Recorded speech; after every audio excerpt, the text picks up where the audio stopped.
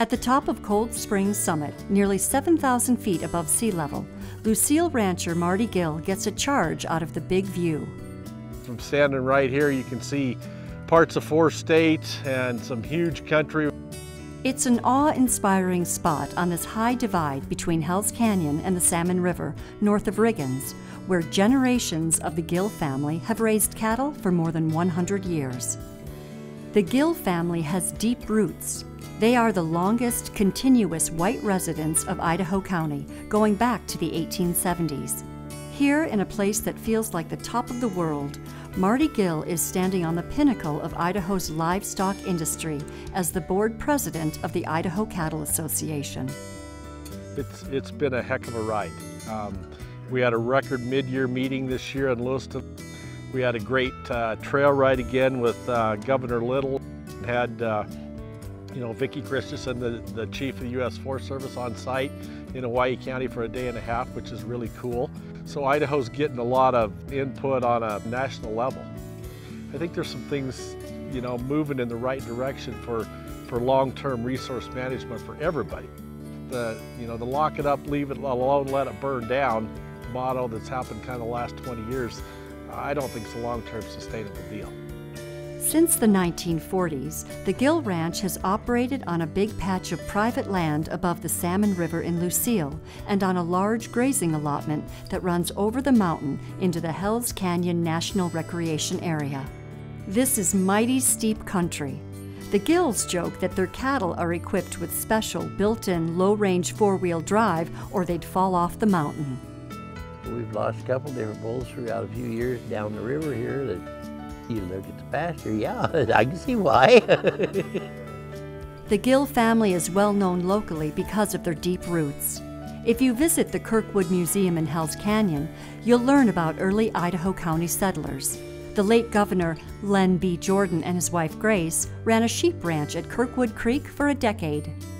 Melvin Gill, now 80 years old, worked for Bud Wilson at the Kirkwood Sheep Ranch from the mid 1940s to 1975, when Hells Canyon National Recreation Area was created by Congress. A longtime rodeo rider, Melvin Gill was the Grand Marshal of Grangeville Border Days in 2017 and Grand Marshal of the Riggins Rodeo in 2007. He worked on the ranch his whole life. I had no time to play. Ever since I was eight years old, I took a man's place in the hayfield. Driving teams because we hayed with horses. And I used to think my parents was the meanest people you ever saw because the kids I went to school with would be down swimming or running around or playing or doing something and I'd be up here on a field on a hot day behind a team. Marty Gill and his sister Shelley are the fourth generation of the family to run the ranch. Shelley and her husband Garrett raise about 500 cattle at the Gill Ranch in Lucile. Marty works as a nutrition expert for AgriBeef Performix Nutrition in Fruitland while running a second ranch in Parma for the family.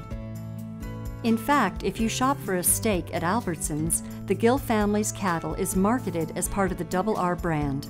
You might see a family photo in the grocery store. Most times our cattle will grade 85 plus percent, 85, 88 percent choice. So that's, that's the target market and trying to sell good product because you get paid a premium for that. Marty Gill is a man on the move. He works a four-state territory for Performix Nutrition, helping cattle ranchers increase protein and minerals for their livestock. He'll take samples of their pasture grass and hay and provide an analysis. We'll take what you have in your feeds, what type of animal or what type of production you're getting. We'll look at the research and the proven data out there that shows how much protein or copper or zinc or something like that that they need. And then we'll take what you got versus what's optimal for the animal. And this is just like a great big kitchen. Then we put the stuff together to make up the difference in a supplement. Marty Gill applies his knowledge about cattle feed and nutrition to the family's cattle operation as well. Today, he's providing nutritional supplements for some replacement heifers at the Parma Ranch. These cows will be raising calves for the first time next year. At the Parma Ranch, Gill breeds ideal characteristics into their cattle through artificial insemination and heterosis, crossing Hereford mother cows with purebred Angus bulls and Angus mother cows with purebred Hereford bulls. Those of us in the commercial industry are trying to raise the most efficient animal that we can.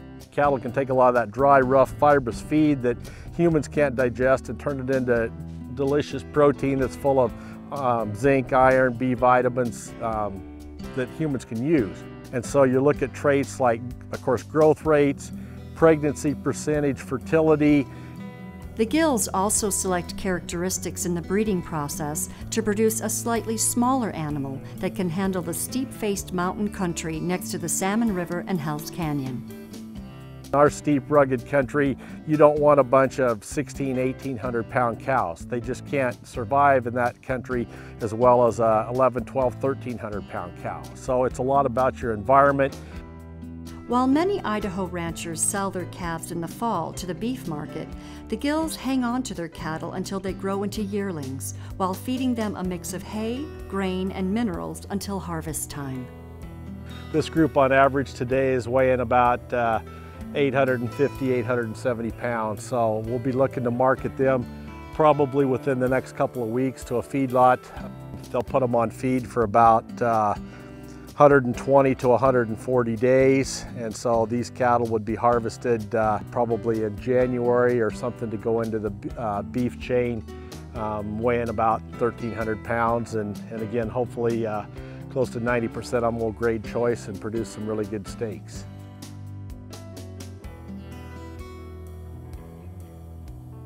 Melvin Gill used to love herding cattle on horseback as a kid on the family ranch.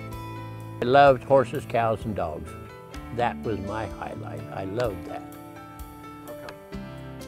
It was just something to it that I enjoyed. Melvin Gill used to ride horseback to the Cow Creek School.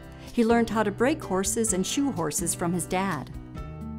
Melvin and his wife Midge had two children, Shelley and Marty. His daughter loved to ride horses and always wanted to tag along with her dad. She always had her horse ride and when she was a little bitty girl, why she, it didn't matter if it was storming or cold or what it was, she had to go with me all the time. I tried my hardest to be as good as I could be so that I could get to go. And so it doesn't surprise me when she got out of college and said she was coming back to help me. I'm sure glad she's here too. At the Gill Ranch Cow Camp, Shelley talks about running the ranch. It's a huge allotment. There's almost 30,000 acres, a, a, lot to cover. Um, we've had a lot of forest fires that make the trees and trails you know, hard to get around.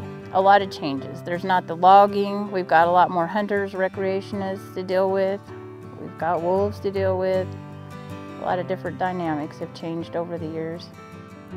In general, the Gills cattle herd follows the green up the Salmon River side of the mountain and spends six months on the forest allotment from June through November. Just follow the grass. That's why most of these old ranches had a low country and a high country. With hunting season coming up, Neil braces for the impact. Since the wolves have really hit like the Lochsa Clearwater area, we seem to get a lot more hunters down here Frequently, hunters don't respect the difference between private and public lands, she said. What we find it is they cut the deeded property fence if the gate's locked and just go through. Antlers that they see just over the fence that you don't respect the private ground. The Forest Service doesn't do much maintenance on their lands, Neil says, which hurt their ability to manage cattle. They don't do the trail work. They don't, well, we looked at the signs out there, you know, just the recreation signs. There's no road signage. They're just, yeah, there's just a lot of neglect. You know, trees are dying, weeds are coming. Weeds have been a big thing. We've got them on the ranch too, but they used to kind of try to hold them down on National Forest and especially on this Hells Canyon recreation side. It's just gotten out of hand. Forest Service officials provided a written response. The Salmon River Ranger District partners with Idaho County and the Nez Perce tribe to treat weed affected areas across the district on an annual basis. recreation trail maintenance on the Salmon River Ranger District is limited due to budget constraints. Forest Service grazing permittees are partners in ensuring the health and sustainability of Forest Service rangelands. Despite all the challenges associated with managing the ranch, Neil enjoys it. I just think it's a great lifestyle. I like the independence of getting up in the morning early when you want, doing what you want for the day, no bosses. We work very hard, always have, and that's the way I like it. Melvin and Midge mainly hang out at their lovely home overlooking the Salmon River country, enjoying retirement. And Marty is sprinting to the finish of his service as ICA board president, pushing the issues of the day. Marty notes that Idaho ranchers have strong political support, with five former ICA presidents serving in the Idaho legislature and Emmett rancher Brad Little serving as governor. As ICA president, Marty worked to expand the network with ranching leaders in the West. I wanted to pull everybody, you know, more together and make sure we're kind of on the same page. We're all talking about the same issues, whether it's whether it's this climate or whether it's the Bitterroot Range in Montana or the, you know, the Steens Mountain in Oregon or the Black Rock Desert in Nevada. They're all a little different, but we're talking about management, grazing, water, you know, human animal, human wildlife interaction. You know, let's bring the best science and the best methods to the table that, that works for society. And I think there's something to be learned by, you know, looking at the big picture view and trying to bring some of those things together.